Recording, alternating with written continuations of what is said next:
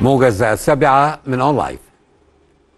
أعلن مجلس الصداقة الشعبية العالمية بالخرطوم عزمه القيام بزيارة إلى مصر لتفعيل العلاقات بين البلدين. وقال الأمين العام لمجلس الصداقة عبد المنعم السني أن الزيارة سيقوم بها وفد شعبي سوداني يضم مجموعة متنوعة من القيادات الشعبية تمثل الإعلاميين ورجال المال والأعمال ورجال الفن والأدب ورجال الدين المسيحي والثقافة بجانب جمعية الإخوة السودانية المصرية. كما أوضح أن الرسالة التي يعتزم الوفد ترسيخها أن شعبي وادي النيل تربطهم علاقات متماسكة وذلك في إشارة إلى أزلية العلاقة الشعبية بين الجانبين السوداني والمصري